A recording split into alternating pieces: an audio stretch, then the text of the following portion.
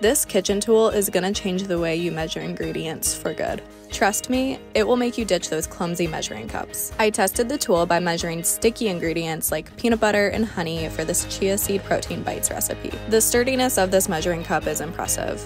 I've used a similar product before, but the way this one holds its place while measuring sets it apart. Just fill it and pop it into the mixing bowl. I'm one step away from ditching my flimsy measuring cups for good.